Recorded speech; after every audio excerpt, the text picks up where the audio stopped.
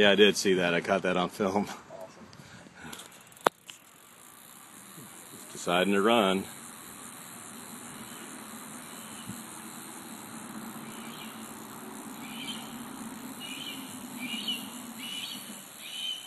All right, I think I'm gonna do a little paddling. It's running far. Look at it. She's either a long-nosed gar or a spotted gar. Could could be either. Father thinks it's a spotted gar. I really don't know. The reason I, uh, just the girth of it makes oh, me think that. She's huge. All right, She's gonna kick. yeah. Let's let's probably start reviving her. Let's watch that process go.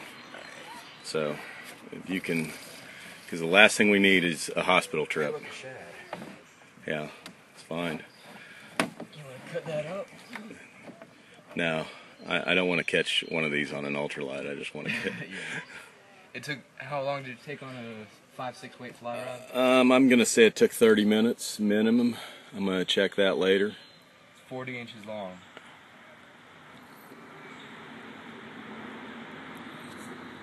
Tail is huge. Its girth is huge. Its teeth are huge. Its snout's probably eight inches by itself.